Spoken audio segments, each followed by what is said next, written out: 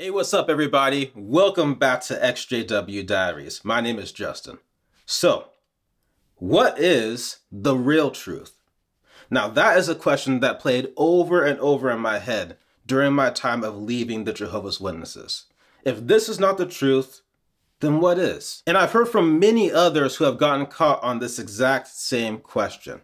If this is not the truth, then what is? And really, it's not surprising. I mean, the Jehovah's Witness leaders spend countless hours trying to reaffirm in their members' minds that they are the one and only truth.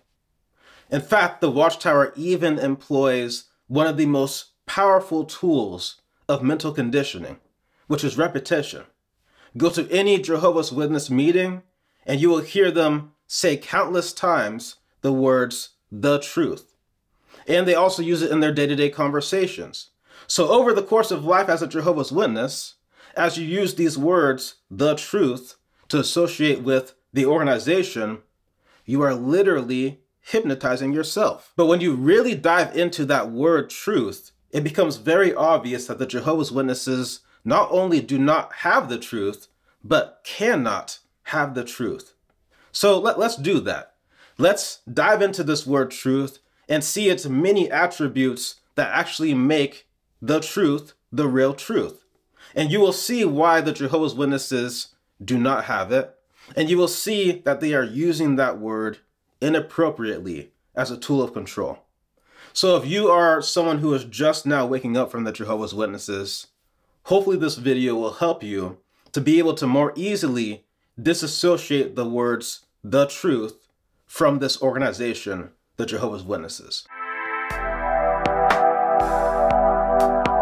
So let's start with the factor about the truth that is so simple and yet at the same time so powerful that I actually decided to use it on the splash screen of every single video. And that's that the truth does not mind being questioned, but a lie hates to be challenged. The real truth does not mind being questioned because it knows it can stand up to anything, especially a lie.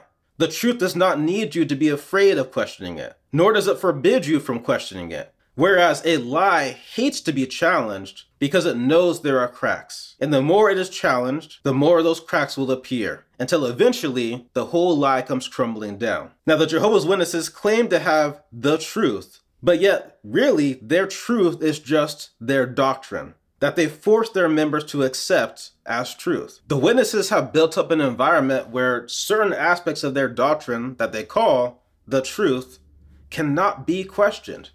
In fact, Jehovah's Witnesses are told, above all else, do not listen to apostates. But really, what is an apostate but someone who has dared to question this unquestionable religion? Another factor about the real truth is that it is unchanging. The law of gravity is an example of real, unchanging truth. Wherever you go on this planet, no matter what country you are in, no matter if it's a first world country or a third world country, if you jump up, you will still come back down. If time travel existed, you could go back to the 1700s when everything about humanity was vastly different than it is today. But still, still, if you jump up, you will come back down. Another example of unchanging truth is 1 plus 1 equals 2. No matter what country you are in, no matter what time you are in, that is an unchanging truth. If you read Crisis of Conscience, then you know about the Malawi versus Mexico case. In that case, we see that what was true for one nation was not true for another nation. And sadly, this had a devastating impact. If you go on a time scale, the differences are even more drastic. What Jehovah's Witnesses believe and practice now is very different than what Jehovah's Witnesses believe and practice in the earlier days of the Watchtower. And if you go back to the days of the Bible students, the differences are even more drastic. I mean, can you imagine having Charles Taze Russell in the same room with today's governing body members? Can you imagine how that conversation would go? In fact, overall, if you compare what the Jehovah's Witnesses call the truth now compared to even 50 years ago, you would have two completely different religions. Now, I know any Jehovah's Witness watching this will say, well, of course, things have changed over time because we've gotten new light.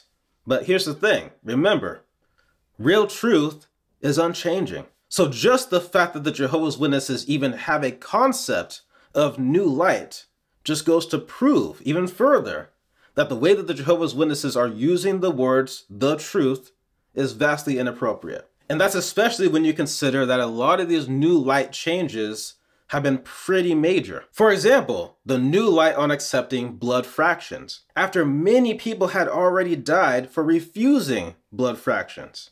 Another example is the new light on organ transplants, which came after many people had already died for refusing an organ transplant. Now, I could go on and on, but the whole point is that real truth, real absolute truth, is unchanging. It just always is.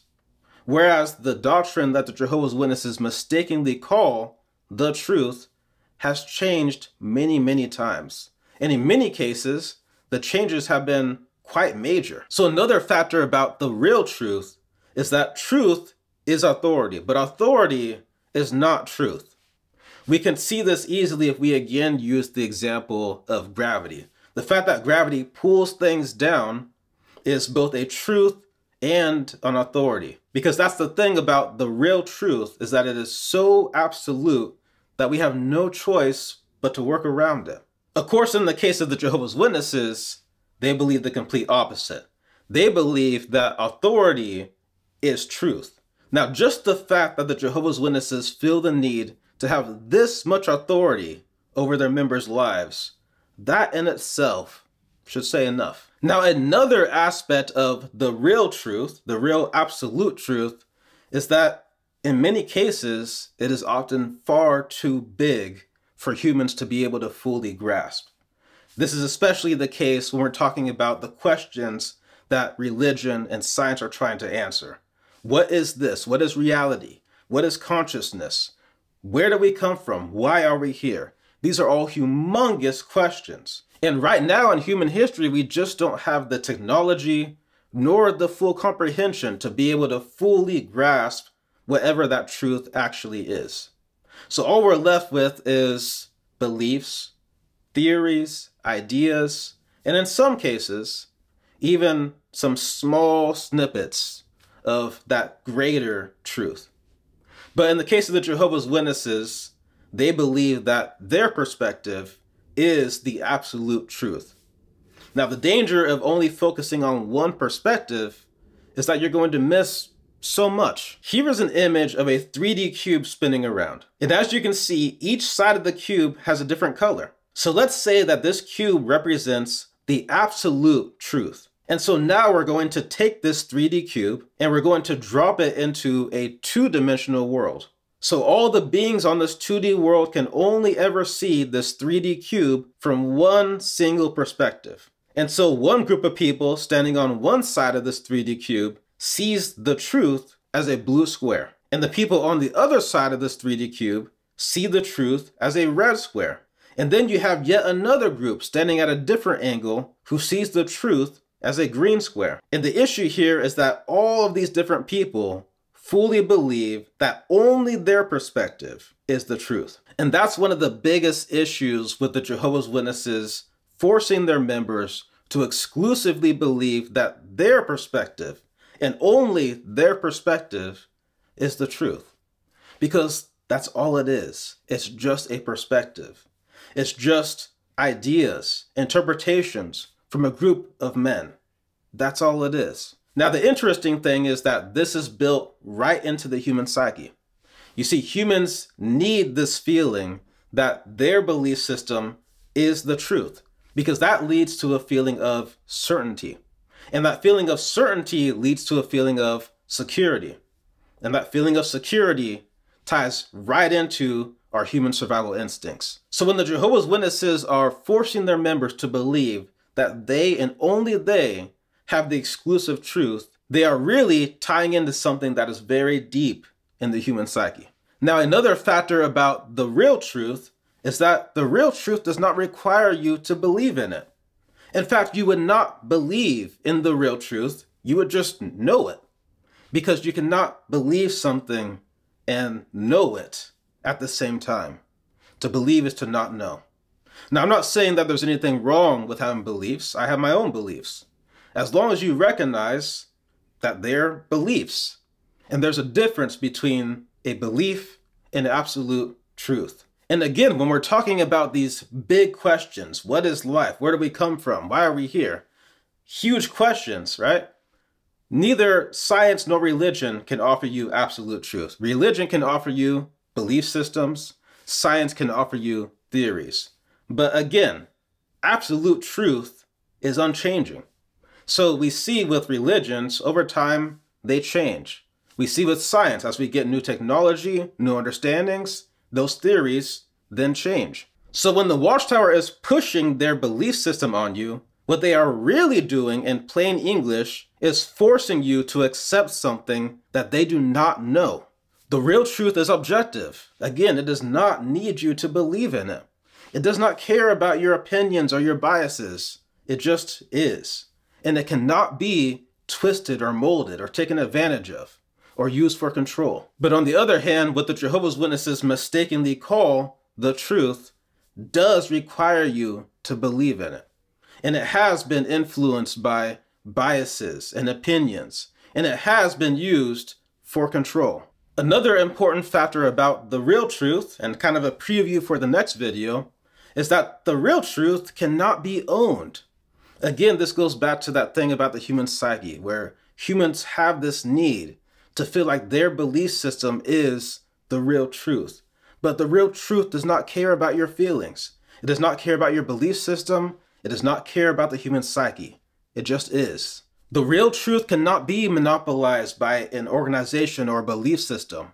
The real truth does not need an organization. In fact, just having an organization puts the real truth at risk for being manipulated or twisted because just by their nature, organizations are subject to opinions and biases and egos. So, what is the real truth? Well, one thing's for sure based on what the truth actually means, based on the factors that are needed for something to actually be real objective truth, the Jehovah's Witnesses do not have it.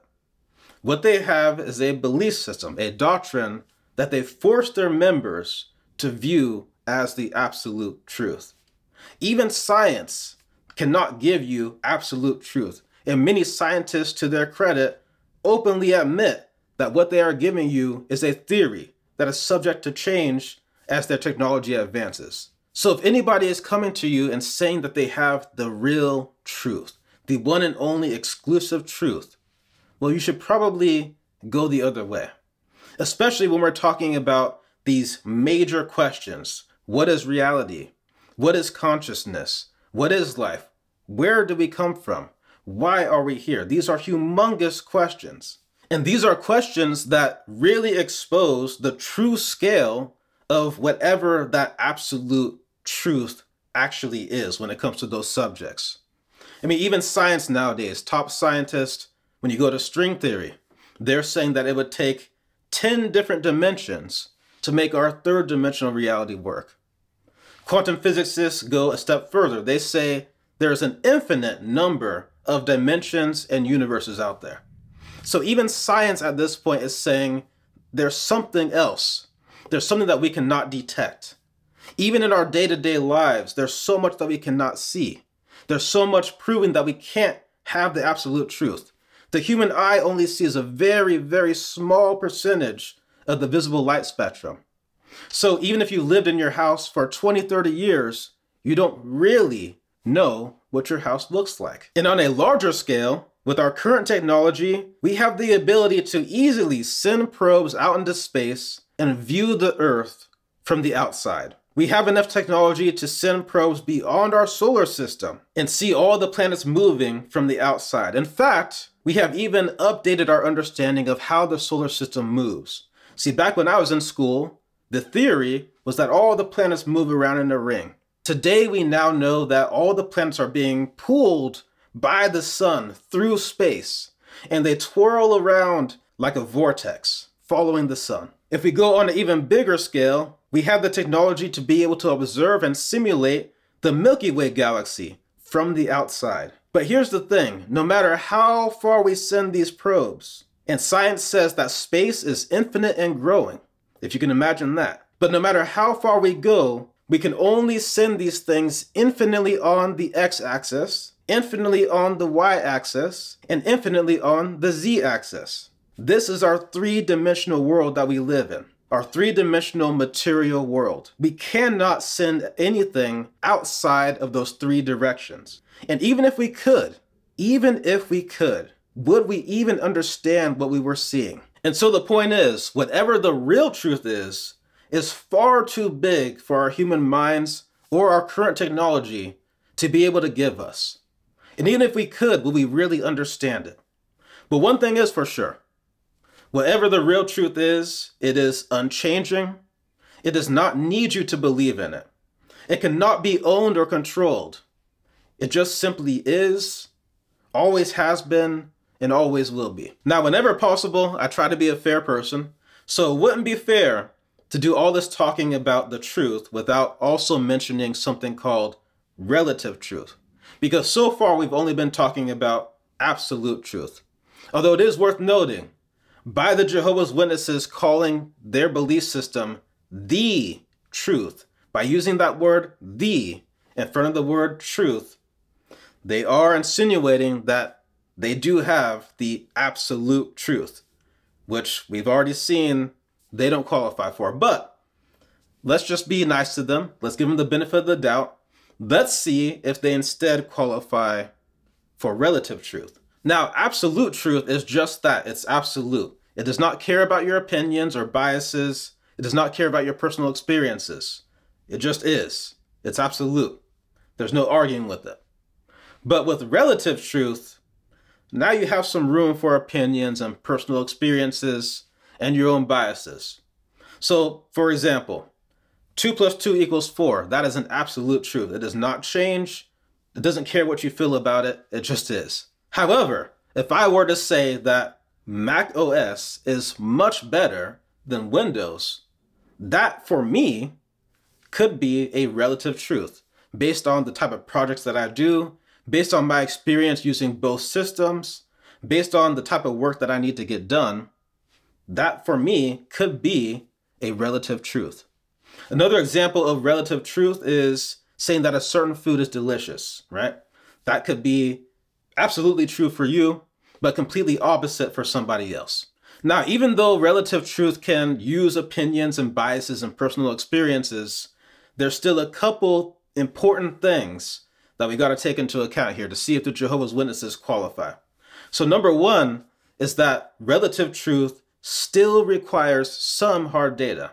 If we again use the example of Mac versus Windows, I would not be able to say Mac is better than Windows if I had never used either system, or if I had only used one system.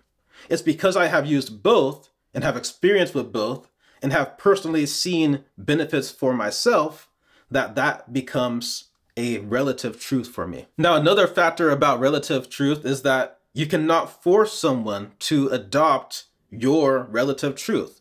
So again, if we use that same example, if you love Windows, I cannot force you to love Mac. So when it comes to the Jehovah's Witnesses, we see that they cannot live up to either of these standards for relative truth, especially the one about not forcing other people to adopt your relative truth as their own truth. So as you can see, the truth, much like the word love, has been hijacked by the Jehovah's Witnesses and twisted and manipulated to be used for their own gains, to be used to control their members, to be used to set themselves up as an unquestionable authority.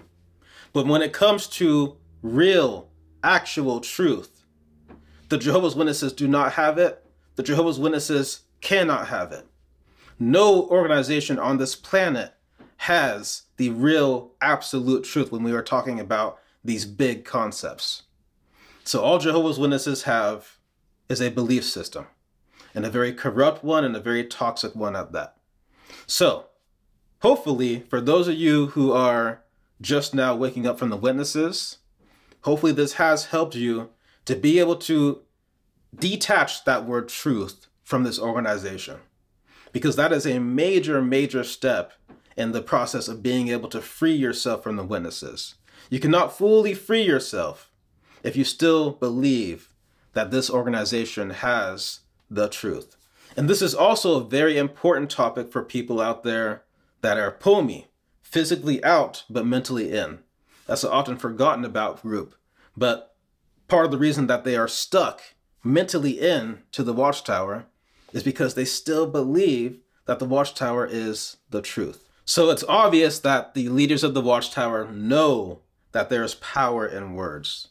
And they obviously know that calling their belief system the truth gives something to their members that makes them entirely obedient to this organization beyond any question, beyond any doubts, beyond anything weird that may come up. They will be completely loyal to this group because they believe that they have the truth. But the real truth would never require that of you. So, with all that being said, I want to thank you so much for watching. Thank you for your time. Please take it easy on yourself, and I will catch you in the next one. Peace.